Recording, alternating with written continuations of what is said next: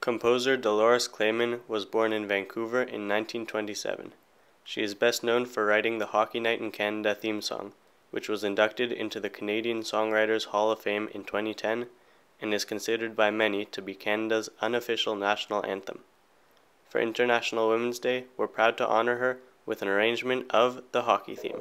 Enjoy.